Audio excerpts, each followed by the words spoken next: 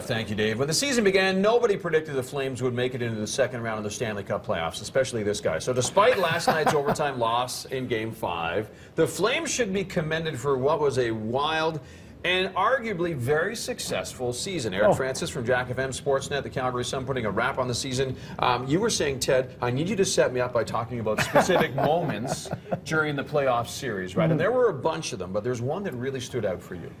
Yeah, like a season of wonderful memories for Flames Yeah. fans. But uh, after Game Four on Friday night, when they lost here and they were going back to Anaheim for Game Five, those people who were still in the crowd for the final, you know, buzzer, and I'd say about three quarters of the crowd was still there.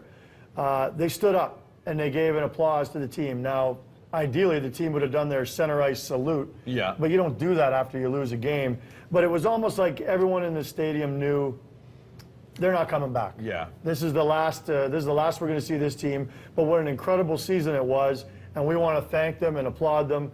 And I, I bet you everybody there who did it just is glad they did it because Yeah. there's really no venue now to say thank you to this team like they had that night at the end of that game. And I just thought it was very stirring, and it was, didn't last long because the players were off the ice very quickly. Sure. Because they were disappointed at the loss because they still felt that they could win the game. And I think Flames fans had a glimmer of hope too. And and hey, they hung in that game last night. They hung in that series, even though I would argue that in all the five games, they were never the better team. No.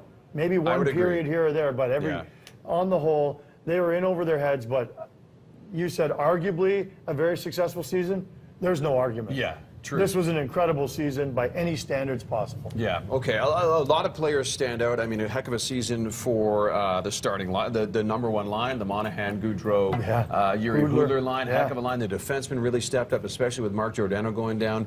Do you think, though, um, what was a blessing for the Flames with respect to their team having so much inexperience and not getting freaked out by the playoffs Mm-hmm. kind of bit them in the end? I'm talking about those two late second period penalties, Joe Colborne and uh, like last night, Mikael Backlund. I think in both those cases, Yeah. you know, I have a real hard time criticizing Joe Colborne Sure, for his sure. penalty because they're always asking him with that big body of his to play uh, a more rugged style game, and he Yeah. was doing that He was brilliantly. trying, trying to push Beauchemin down. That's what he was doing. That's right? all he was trying. He, You know, it was just it was a reaction. It was a Yeah. split second, and it was it's a result of playing a very rugged game. Yeah. So he responded to the, what they wanted him to do, and then you know, of course, the Mikael Backlund one that was just a straight penalty. That Yeah. you know, it's an unfortunate call. Yeah, those are two key penalties, but that's not what people need to remember at No. the end of this year.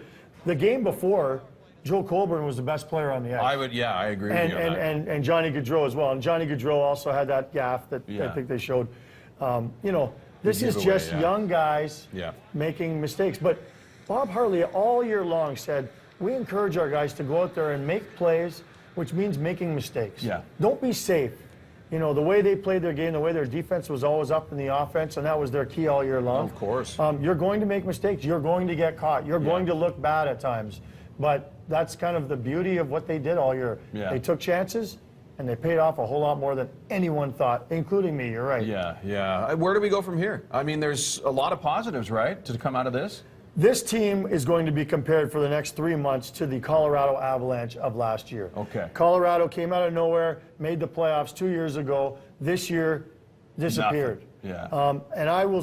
So people in the hockey world, I already hear it. They're saying, "Well, the Flames will probably be just like Colorado. They won't be seen in the playoffs next year." I vehemently disagree. Now I'm on the play uh, the playoff train. Okay, yeah. And I, I see no reason why. I don't think they're going to win division titles anytime soon. But I think they're now, you know, they are getting as deep as any team Yeah. uh, in that mix for that last playoff spot. Moving forward, Monahan's only going to get better. Sam Bennett Yeah. is going to be a very big star in No this kidding, National. Hockey League.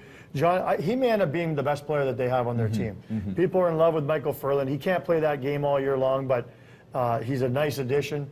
Lance Bouma.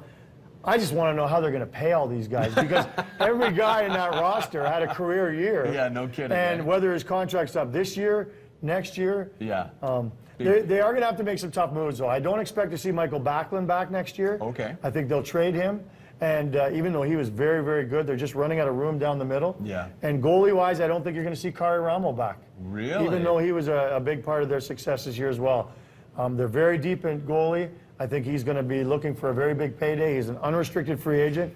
And I'll make a very bold prediction right now. It's, it's kind of a shot in the dark. Yeah. Karri Ramo next year, starting goaltender for your Edmonton Oilers. Really? Yeah, I don't I don't want to make anybody upset. It's it's just that there aren't many teams that need a starting goalie. Karri Ramo could be that guy. Edmonton Oilers need a starting goalie more than anybody else. Yeah. He needs a pay raise. They're willing There to pay. Eric I hope I'm wrong. Sorry to uh, upset anybody, but I can't upset anybody more than the snow has. Yeah, there you go. Eric Francis from Jack FM Sportsnet, the Calgary Sun. Thank you so much for your take Thanks. on this.